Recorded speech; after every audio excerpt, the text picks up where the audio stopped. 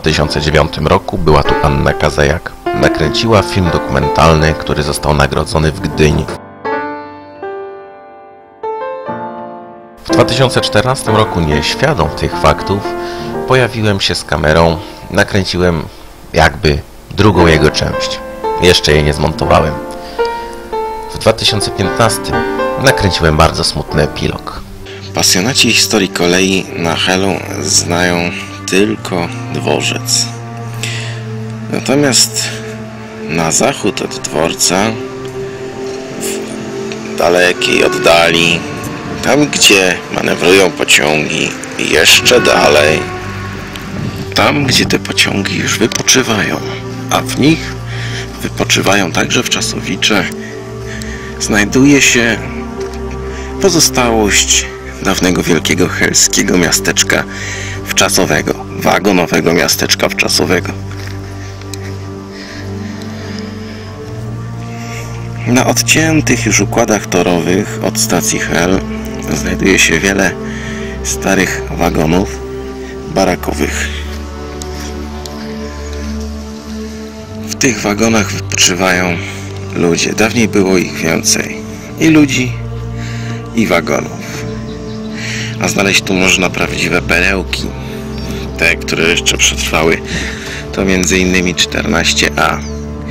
Wagon barowy z lat 40. bądź 50. Legenda mówi, że wagon ten wchodził w skład pociągu Bieruta. Znajdujemy się na jedynym zabytkowym torze podłączonym do układu stacyjnego. To tor prowadzący na dużą pętlę manewrową otacza chyba całą e, gminę Hel, jej zachodnią część, e, używany dawniej przez wojsko do obsługi portu z dwóch stron. Jednakże z tej pętli odbija jeszcze jeden tor, ale to musimy się udać dalej. Znacznie dalej. Dalej, dalej, jeszcze dalej. Nawet za miejscem, gdzie kiedyś też wypoczywali ludzie w wagonach. Dalej w las. Otóż to w głębi lasu od wielkiej pętli odchodzi tor. Nie jest to byle jaki tor, bo zlokalizowany, ułożony na metalowych podkładach. Jeszcze rok wcześniej miałem okazję realizować tutaj materiał, wideo o pięknym miasteczku wagonowym zlokalizowanym na trójkącie manewrowym do zawracania parowozów. Tak. Stacja Hel miała własny trójkąt manewrowy do zawracania parowozów. Parowozy tutaj też były niezwykłe, bo to były parowozy napędzane mazutem. Tego życzyło sobie wojsko, które nie chciało doprowadzić no, sytuacji pożarowej, tak, żeby spłon nie chciało, żeby spłonął las, który chronił obiekty wojskowe przed y, kontaktem wzrokowym po prostu. W tym miejscu zawracały parowozy. To jest y, odnoga, jedyna ocalała jeszcze istniejąca odnoga trójkąta manewrowego. W tym miejscu stały również wagony wypoczynkowe, które no, na dobrą sprawę były już niepowtarzalne. Tak wyglądają metalowe podkłady kolejowe. Dzisiaj rzecz rzadko spotykana, a jeśli spotykana to niebotycznie droga. Metalowymi podkładami charakteryzował się cały trójkąt, który, który, którego końcówka również była umieszczona na metalowych podrozjezdnicach.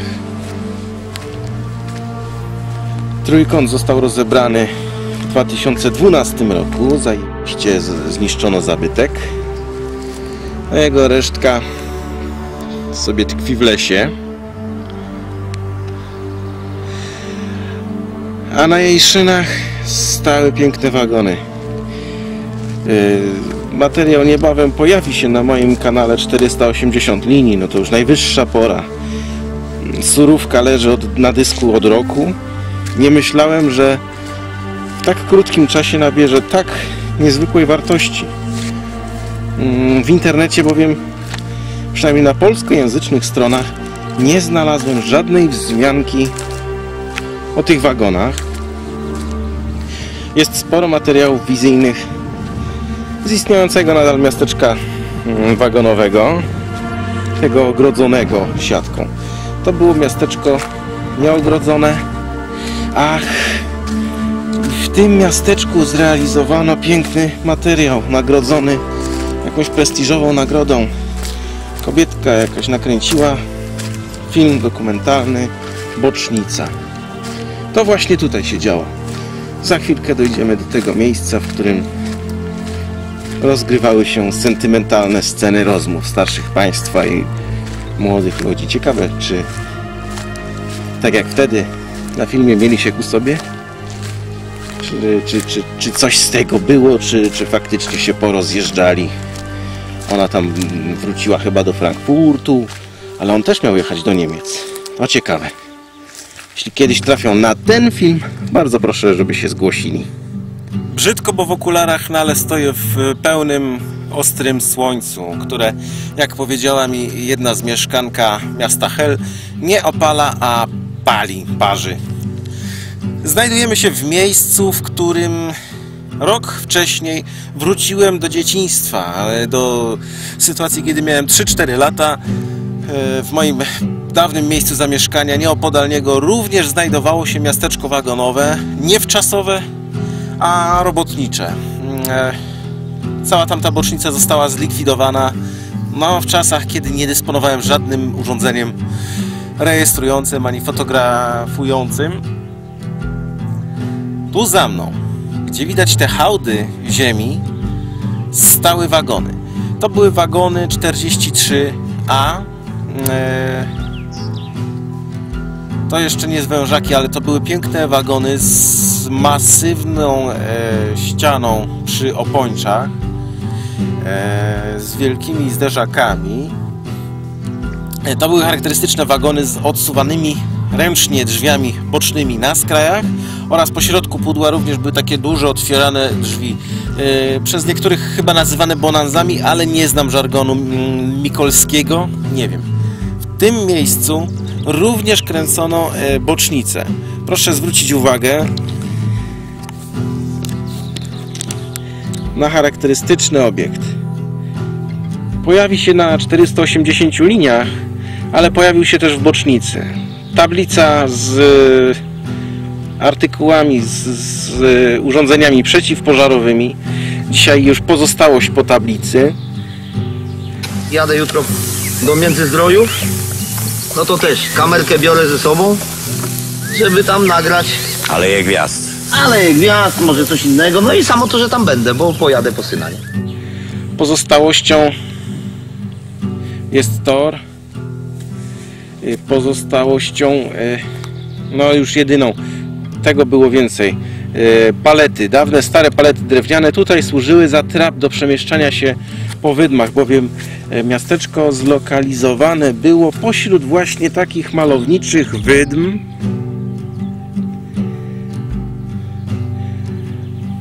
I na bocznicy widać doskonale, e, w filmie Bocznica widać doskonale, no jak wykorzystywano te wydmy. No dzisiaj wydmy są zorane kołami pojazdów, które no, zakończyły żywot tego miejsca.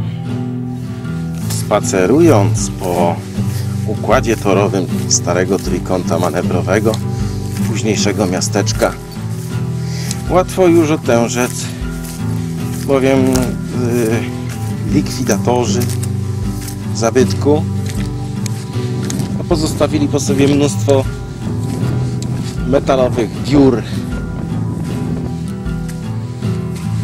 po rozszarpywanych przez siebie wagonach. Tym miejscu rozgrywała się akcja bocznicy. Zostały chodniki betonowe. E, Przy tych chodnikach, o, jest jeszcze fragment trapu. To jest miejsce znane z filmu Bocznica. To można zobaczyć e, na kanałach VOD telewizji polskiej. Tutaj u zbiegu betonowego i drewnianego trapu e, gospodarz letniska organizował boisko do siatkówki. W filmie widać jak dosyć ciężko mu szło, ale jednak dopiął swego. Zgromadził dwie drużyny, które rozegrały mecz siatkówki. To co? Dwie panie i dwie panie. Nie ma na propozyt, to proszę pana. Co? Już jeden zespół jest, teraz drugi zespół. Pani, pani, pani. Także zapraszam.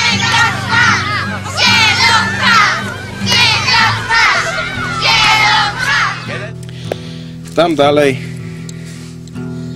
mamy drzewa, przy których również stały wagony i to chyba gdzieś tam e, realizator filmu nas e, nagrał monolog starszego pana, który z ekipami rządzącymi postąpiłby krótko i, i skutecznie. A ten rząd to mi wszystko taką całe do jednego worka wsadził i w to morze od razu, babach. Przyszły od sprzątaczki po najwyższego. Trójkąt manewrowy urywa się dokładnie w tym miejscu. Szyny kończą się bez kontynuacji. Oczywiście fragmentarycznie również ułożone to było na drewnianych podkładach zapewniających większą amortyzację. Te drewniane schody to pozostałość po obiekcie, który sprawił, że na chwilę przestałem oddychać, kiedy to byłem po raz pierwszy, rok wcześniej. W tym oto miejscu bowiem stał e, trójosiowy wagon. Dawniej wagon pasażerski, e, tak zwany boczniak, do którego wchodziło się bocznymi schodkami. Oczywiście przebudowany, miał uproszczoną konstrukcję pudła, tak żeby można było zorganizować prostą przestrzeń mieszkalną. Mm, Pozostała mu jednak latarnia. Przebiję mniej więcej e, fotkami, jak to wyglądało rok wcześniej. Mm, Wagon na szczęście trafił do Jarocina, gdzie będzie odbudowany. Mm, Tego losu nie podzielą dalsze wagony. Tutaj stał wagon Görlitz. E, jak znalazłem dokumentacji, wagon był boczniakiem, został przebudowany na układ no już współczesny. Dalej stały 43, później zwężaki. No takie wa- wagony o zwężanych e, pudłach u brzegów, tam gdzie znajdowały się drzwi. Na szczęście wykonałem dużo mm, fotografii pamiątkowych. Dziś będzie można je tylko, te, wagony podziwiać tylko na fotografiach. Yy, o tych wagonach pisałem również dla rynku kolejowego. Przedruk materiału znalazł się w serwisie Interia. W oddali wciąż widzimy istniejące miasteczko wagonowe.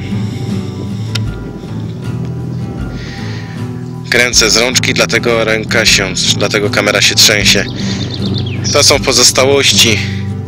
Nie wiadomo jak długo to miasteczko będzie istniało. Jest ogrodzone, więc jest nadzieja, że, że, że jakiś czas jeszcze potrwa.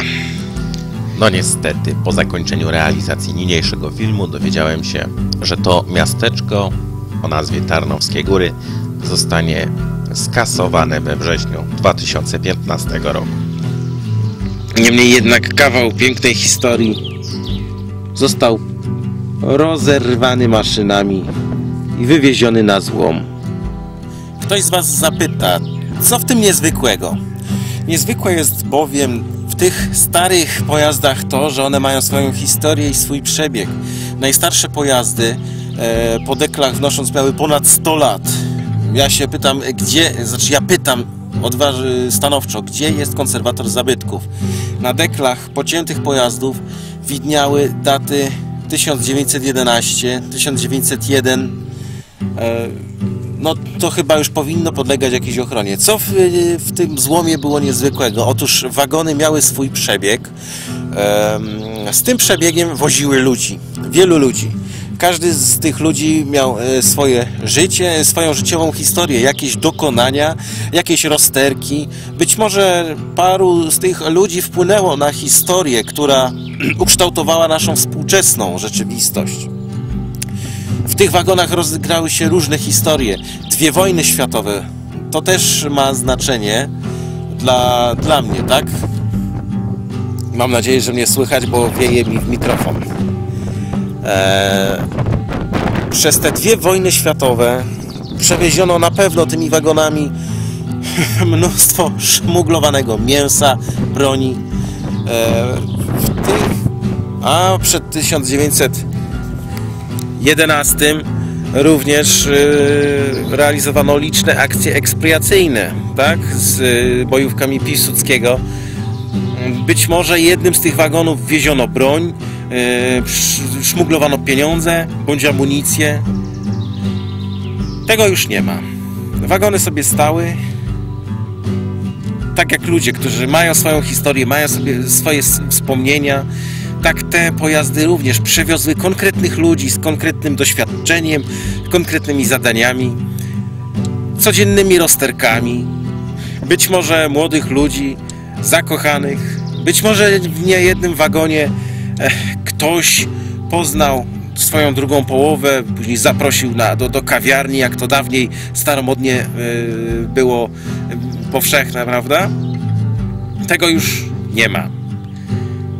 Być może w wielu w tych wagonach poczęło się jakieś życie.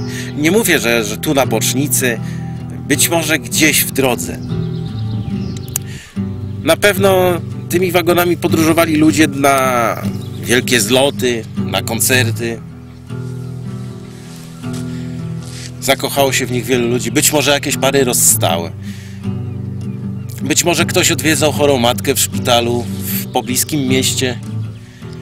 Ktoś mógł jechać na pogrzeb, na narodziny, odebrać żonę ze szpitala z dzieckiem. Dawniej się podróżowało koleją, dzisiaj samochodem robi się wszystko. Tak, jeździ się 100 metrów do kiosku po gazetę. Dawniej podróżowano koleją na wielkie dystanse i to było normalne. No, wiadomo, jakieś niedogodności były, ale one były powszechne, były normalnością. Te wagony ze swoim przebiegiem, ze swoją historią, ze swoimi zasługami stanęły tutaj, by zrealizować swoje ostatnie zadanie, już nie przewozowe, użyczając y, swojej kubatury wczasowiczom, e, którzy no, nie mieli zbyt wielu środków na w czasy na wypoczynek. W tym miejscu być może autorka bocznicy e, zarejestrowała początek jakiejś miłości dwojga młodych ludzi. Być może jakieś ostatnie chwile starszych państwa, którzy tutaj się wypowiadali. Ciekawe, jakie są losy gospodarza tego schroniska. Być może poszedł na emeryturę. Tego już nie ma. Zostało wszystko pocięte przez nowego właściciela terenu. Agencja Mienia Wojskowego wszystko zbywa jak, jak leci, no bo to, to jakie jest jej zadanie. Konserwator zabytków nie wchodzi tutaj nikomu w paradę. Wykonawcy, właściciele przychodzą, tną i wychodzą, zostawiając taki oto obraz.